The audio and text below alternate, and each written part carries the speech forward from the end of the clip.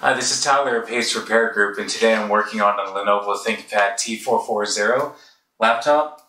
Uh, this particular laptop comes sporting a Core i5 4300U CPU 4th gen, uh, Intel HD 4400 integrated graphics. It already has 8 gigabytes of DDR3 RAM installed. Um, comes with a 14 inch HD display. Interestingly, has two three cell batteries in it.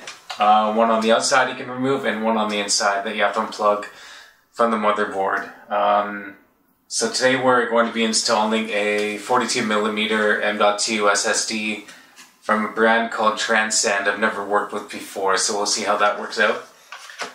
And a used uh, SanDisk X110 solid state drive. So we'll test out what kind of performance we can get, and what kind of games we can play, and what kind of life this laptop still has in 2021 and beyond. Um, so, let's get started.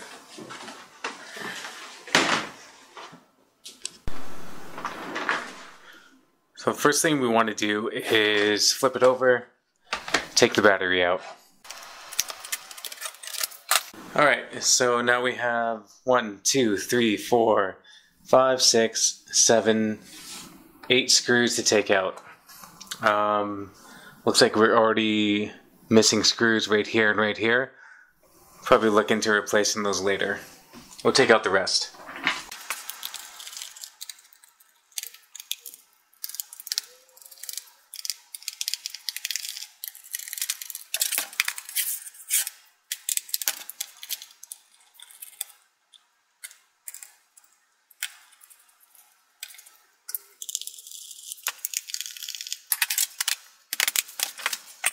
But two screws came out.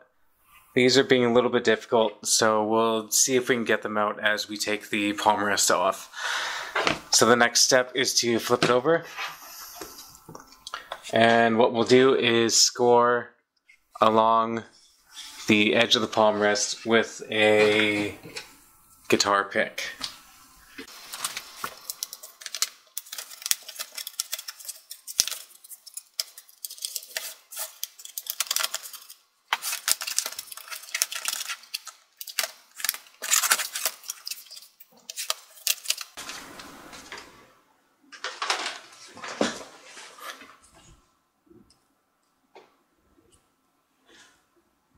All right. So now, as you can see here, we have one of the batteries um, with a power cable that connects right to the motherboard right here.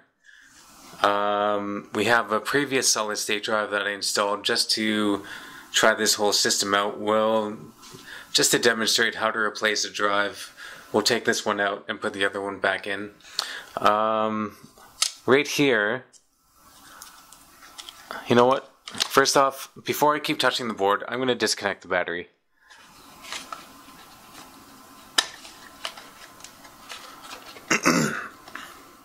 it's always good practice to disconnect the power, go into the motherboard before you service it.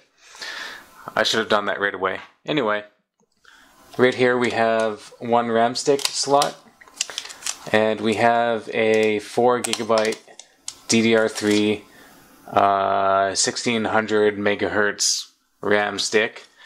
And the interesting thing about this laptop is that the rest of the RAM is built into the motherboard itself. It's soldered right on right here. Um, which I don't mind too much. If we at least have the option to upgrade one RAM slot with maybe like an 8 gigabyte stick, that's not too bad. I can live with not having two RAM slots available. Uh, preferably, I would like to have two, but that's okay. And right here is our slot for the M.2 SSD.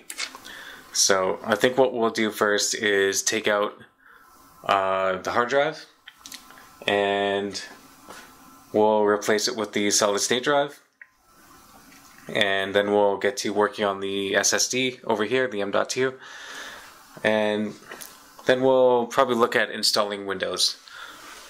Alright, let's go. I have one screw right here.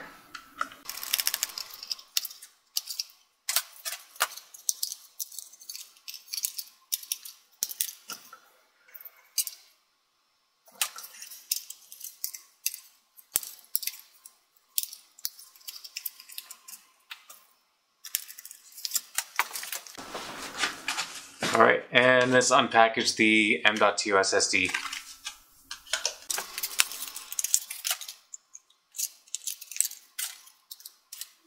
Luckily, we have a screw here that came with the system because one screw was not shipped with the uh, SSD package. Alright. So all we do line up the SSD just like this. And we push it in and then we can hold it down with the screw.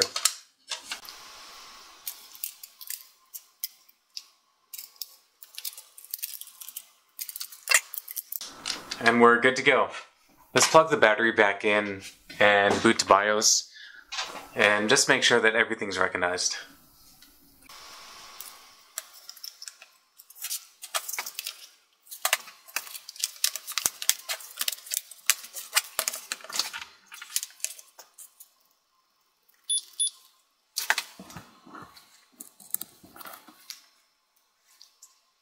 So it looks like we have the SanDisk SSD right here. And excluded from boot order, it looks like our solid state drive is right down here, this TS128 GMT uh, S430S. Okay, so we'll go down, add this to the boot order by hitting shift and exclamation mark, and we'll make it priority number one. And we'll keep the SanDisk SSD as number two. We'll take our Windows 10 boot drive, plug it in, and we'll access it by hitting enter, and then going to boot selection, which is most likely F12.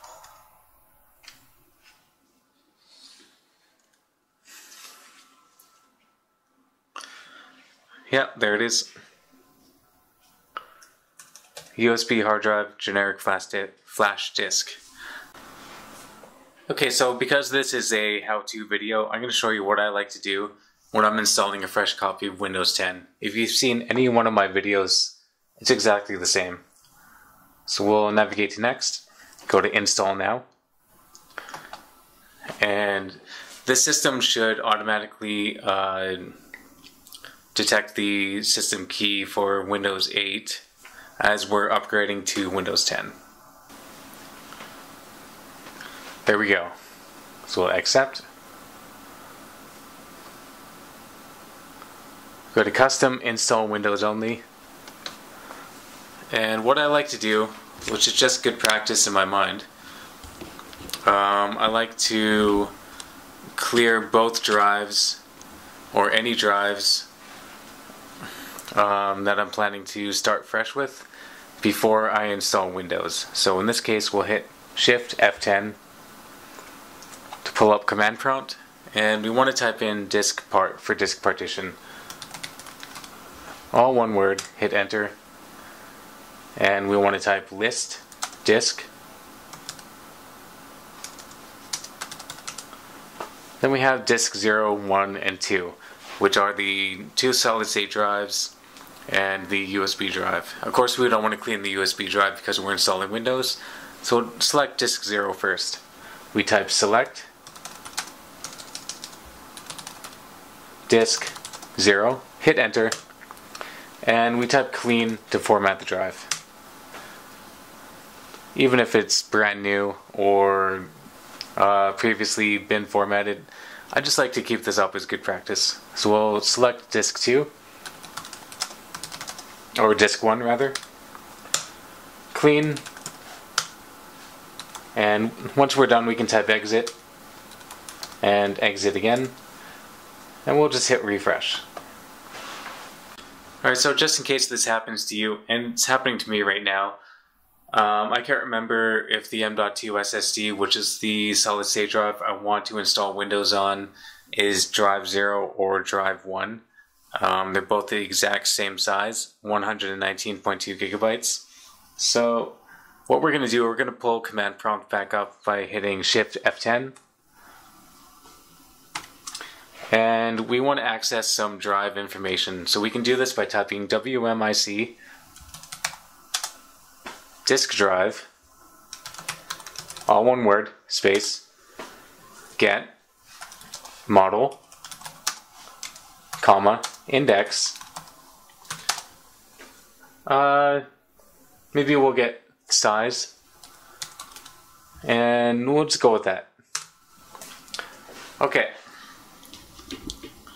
I'll zoom in just a little bit more. Hopefully you can just audibly follow my instructions because it probably is a little bit hard to see. So what we have here is drive 0 is the SanDisk 2.5 inch SSD. Drive 1 is the M.2 SSD. So now we know. We can type exit. And we can select drive 1 because I want to install Windows onto that M.2 to see how well it works. Okay, now that we're done with that, we'll hit next and we'll come back once Windows is installed.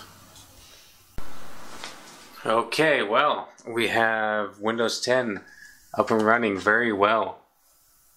Uh, it installed very fast.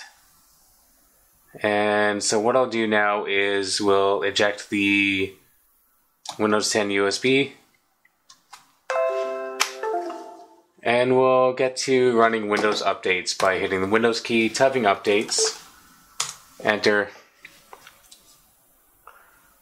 check for updates. Yep. And we'll come back with a little test run.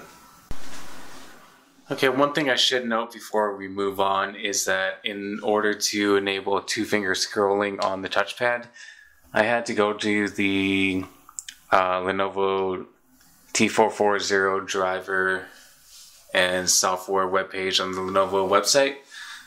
And I had to download the um, mouse, pen, and keyboard driver, the Synaptics uh, ThinkPad UltraNav driver for Windows 10. Uh, just a heads up, when you do update to Windows 10 on this laptop, you might have to do this.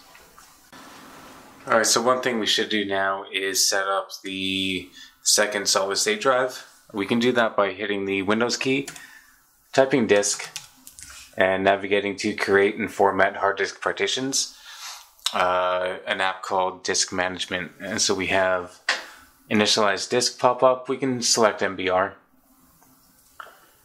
And we'll right click this dark space, which is the SSD that has not been set up. We can click new simple volume uh, hit next and set the maximum capacity next. Drive D and it'll perform a quick format and our drive is usable. So usually what I like to do is just set up, if it's a storage device, generally I tend to set up the downloads, documents, pictures, music, videos, all the popular folders onto the storage drive. If it's used for something else, of course, you can do whatever you want, but that's generally what I do. Let's go to Downloads, Properties, Location, Move, this PC, find your storage drive, in this case, New Volume D, New Folder, Downloads, Select folder. Apply. Yes. Okay, and I'll do that for whatever folders I want to move over to the solid state drive, storage drive.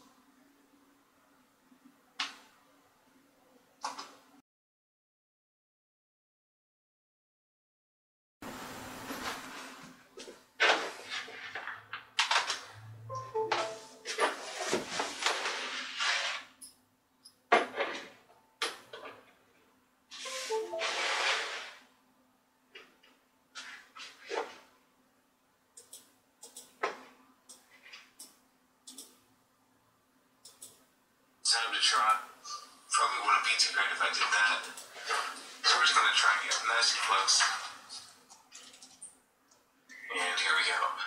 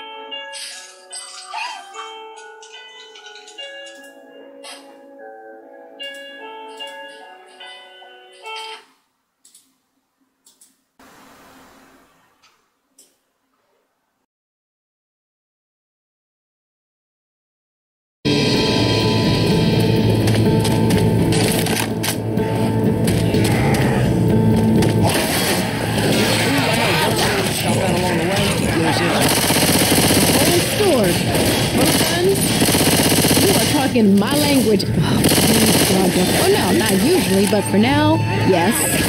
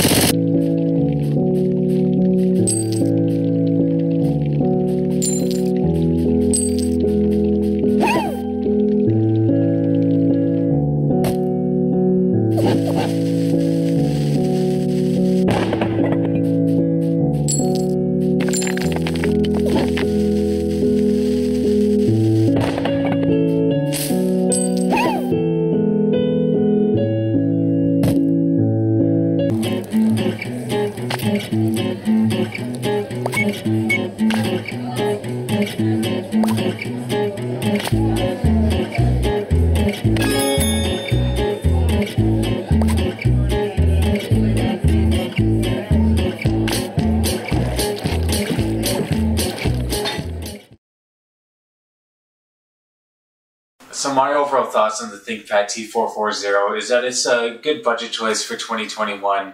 Uh, the CPU and GPU combo might be a little bit on the weaker side compared to other devices, but for the price that you'd probably get this at, um, it's a good solid choice. And with the inclusion of an M.2 SSD and uh, secondary storage or secondary solid state drive like in this video, you can get some really good performance. It'll be fast, it'll be snappy. Uh, if I were to use this for everyday work or just general tasks, I'd probably really like it. Um, it's easy to get used to. It's got a nice look to it, bright display, and yeah, overall, uh, not a bad choice. So I hope you enjoyed this video. I hope you learned something. And if you have any feedback, just leave it in the comments, and I'll probably talk to you there. Thanks for watching.